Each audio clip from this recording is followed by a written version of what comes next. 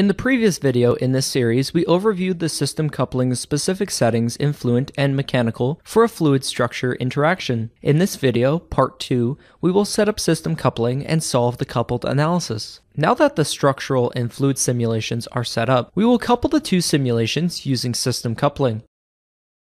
First, enter the analysis settings. System coupling's end time is 10 seconds, the duration of the transient analysis.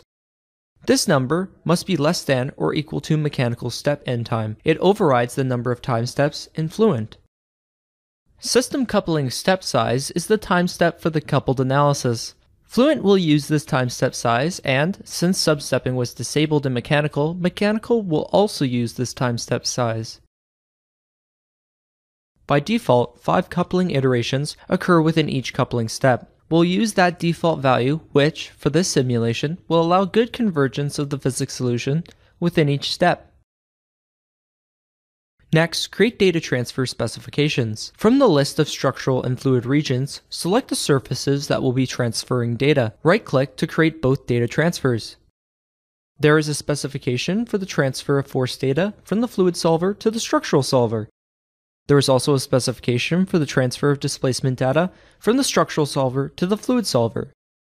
Before solving, it is good practice to ensure that restart data is being recorded. Restart data is controlled here in system coupling and should specify the frequency at which backup points are needed. Updating the system coupling solution will start both fluent and mechanical solution processes, both of which you can watch solve here. The solution processes, as well as the data transfers, are controlled by system coupling.